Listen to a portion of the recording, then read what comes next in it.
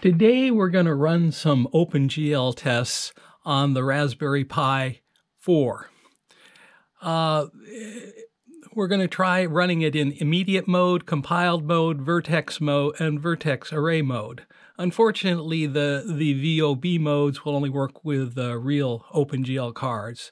So let's get started. Uh, I've got it compiled now for the uh, intermediate mode, so we'll run it and we get up this this is a and we'll run the test. And so that's with just over 100,000 triangles.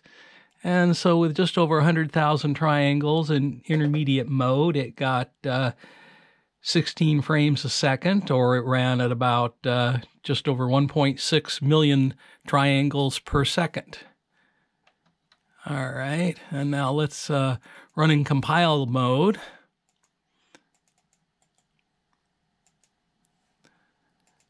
Save that, recompile it.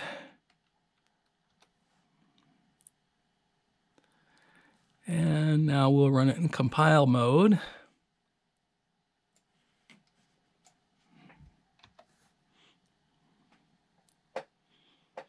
So in compile mode, it ran at uh, 52 frames per second with the uh, 100,000 zones, and it was doing uh, 5.3 mega triangles per second.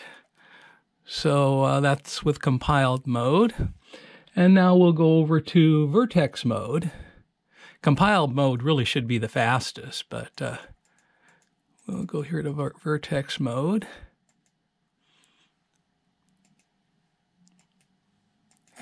Recompile it.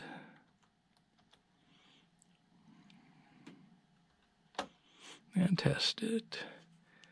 And now we're running with the just over 100,000 triangles in vertex mode. And we get 60 frames a second. And so, surprisingly enough, and that's 6 million triangles per second.